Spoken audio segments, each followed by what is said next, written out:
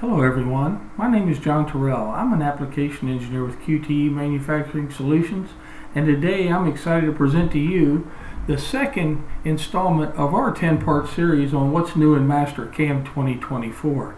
Today I'm going to be talking about maximum engagement in our dynamic toolpaths.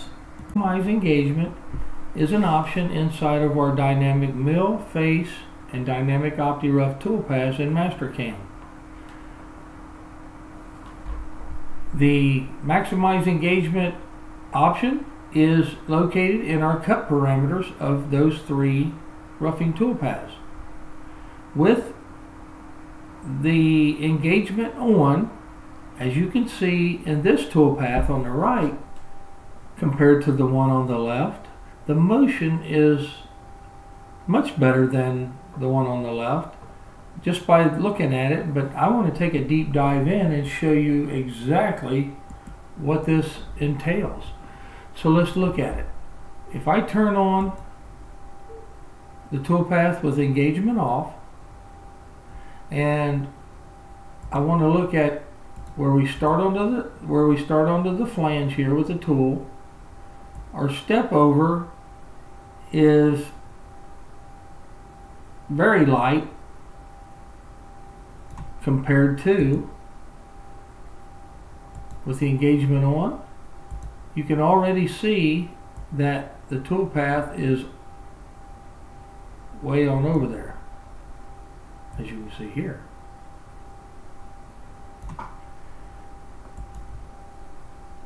What does that do? That gets that step over into that part a lot quicker than it did with engagement off. Let's take a look at this thin wall on this flange with engagement off and let's run it through the back plot.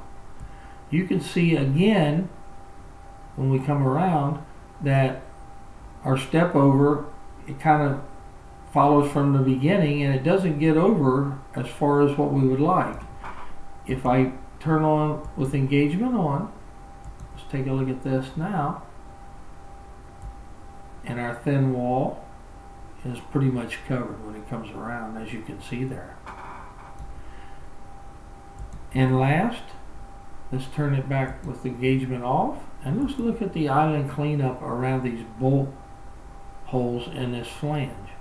If I back plot that, you can see that the toolpath comes around with the step over still not totally to the percentage of the diameter tool that we set.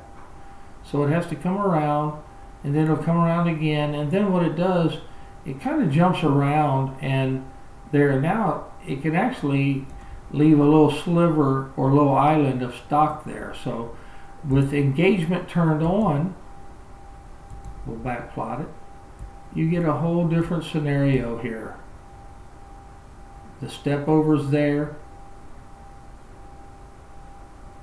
and the consistency of the step overs there. And it doesn't do four or five passes. It does a, about three to clean that island up on that bolt hole. So what does maximize engagement bring to the table as far as uh, the toolpath is concerned? It produces a nominal chip versus the slivers that we sometimes get with our dynamic toolpaths. Additionally, it moves the tool toward the enter step over as quickly as possible. It doesn't keep it hanging out and working its way in at a, at a, at a slower pace.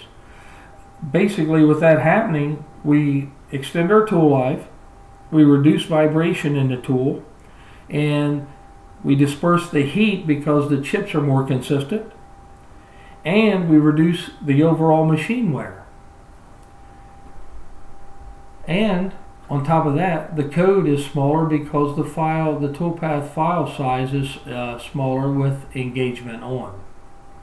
This is a, a very good enhancement in 2024 Mastercam that I think is going to be a game changer and we've been getting a lot of great feedback from our customers that are actually using this option and I hope you can use it in your situation as well. I hope you enjoyed the video and have a good day.